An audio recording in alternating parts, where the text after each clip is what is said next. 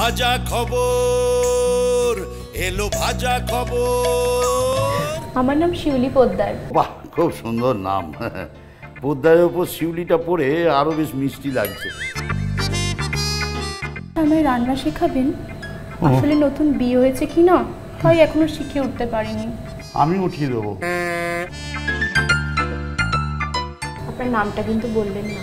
বিরাট ভদ্র। সে আপনাকে দেখলেই বোঝা যায়। শিউলির ডালে কুড়ি ফুটে এলো টগর ফুটিল মেলা। মালতী লতায় খোঁজ নিয়ে যায় মৌমাছি দুই বেলা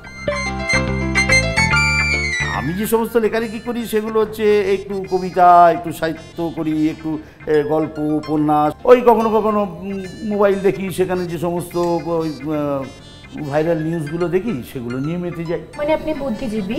বাধ্যজীবী বলতে পারো। খবর